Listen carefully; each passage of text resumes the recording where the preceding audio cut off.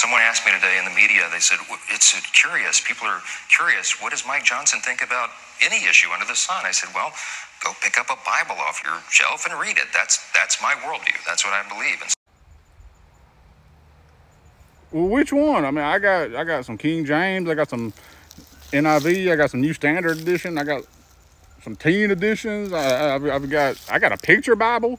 I mean, which, which one do you have? I mean, are we picking up the same one? I mean, there's like 3,000 something different editions and over 2,000 languages. I think almost 500 of those are in English. So maybe we, maybe we'll get lucky and pick the same one up.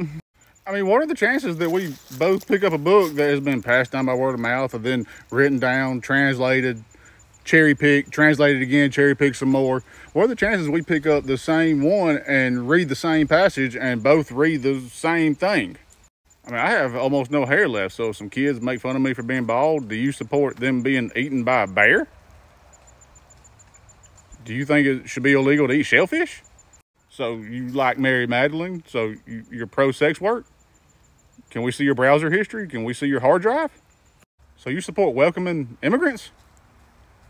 You support feeding the masses by taking from the few? I know Jesus took that fish and bread from, from a kid. I don't think we should be taxing kids, but I mean, billionaires might work. So you support free healthcare? Like when Jesus healed people for free? So you support not really praying in public because the Bible says that people who usually do that are just hypocrites?